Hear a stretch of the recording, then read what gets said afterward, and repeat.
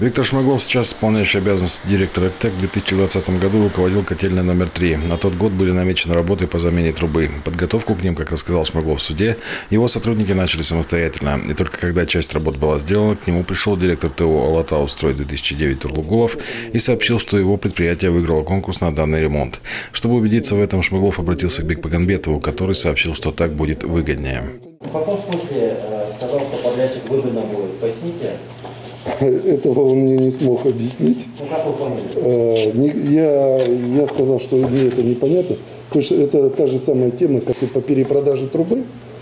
Э, Когда что перепродадим трубу, и она нам будет дешевле. Я сказал, как, как она может быть дешевле, если подрядчик обязательно свой НДС обязан будет по закону накрутить и продать нам дороже. Вот это для меня до сих пор загадка. Работы по замене трубы в итоге, как утверждает обвинение и подтверждает свидетель, были проведены силами сотрудников КТЭК.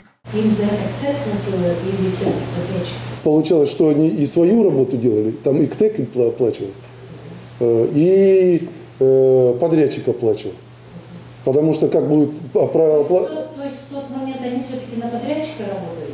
Э, Я там до, до конца я даже не знал, как будет подрядчик оплачивать. Это потом я уже узнал, что они оплатили, да. Что они оплатили все-таки людям. Допрос свидетеля длился несколько часов. Вопросы ему были заданы и представителям обвинения, и судьей, и защитниками подсудимых.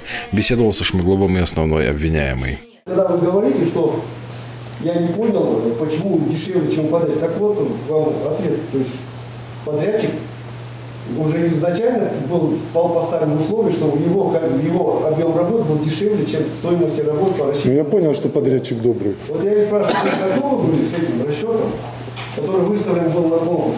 То есть на конкурс была выставлена труба дешевле, чем она сметной стоимости, для того, чтобы подрядчик при продаже ее, получается, продал нам дешевле, чем купил бы у нас. И работы Я могу отвечать? дешевле. Я Да. отвечать могу?